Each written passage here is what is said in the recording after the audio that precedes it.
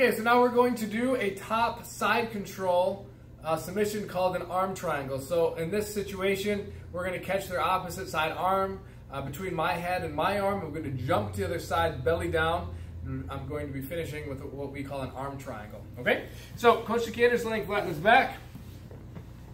So I'm in this basic side control position. I have an arm underneath of his head. My arm is underneath of his head. And he either makes a mistake or I just bully it across. And I end up with an arm and a head between my arm and my head. I'm to lock my hands together palm to palm. My hand that's underneath of his head is palm down. This hand is palm up. Now I'm to jump.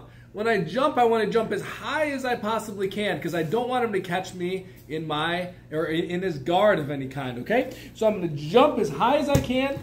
Now I'm on the other side. I'm going to drive my head towards his head. I'm going to pin my forehead against the ground, lay flat on the ground, and squeeze. Okay, so one more time.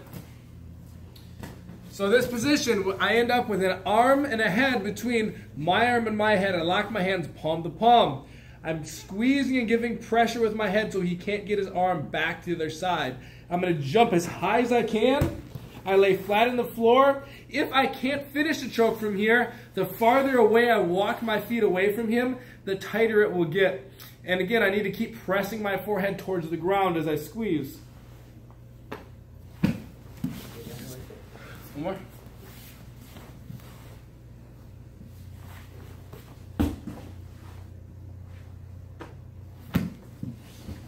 So that's jumping over for an arm triangle on the opposite side from side control position.